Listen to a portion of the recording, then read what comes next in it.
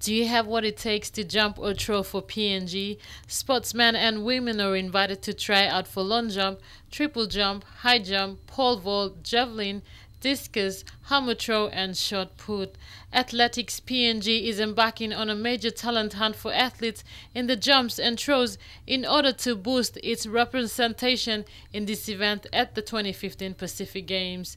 Jump coach Philip Newton from Brisbane and Tom Brent from the University of Queensland arrived in Port Moresby yesterday to conduct the Athletics PNG Talent Identification Program for the jumps and throwers, which commences in Port Moresby on Tuesday.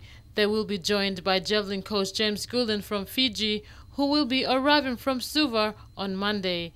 The program will be held at the Sir John Guise Stadium multi-purpose oval. It will be conducted for two days from the 26th to the 27th of November 2013. Invitations are going out to all sporting bodies like volleyball, cricket, softball, rugby, netball, basketball, and canoeing to come forward and show their interest in participating in this program to come and try out one or more of the events on offer. Mai Koime, Trukai Sports.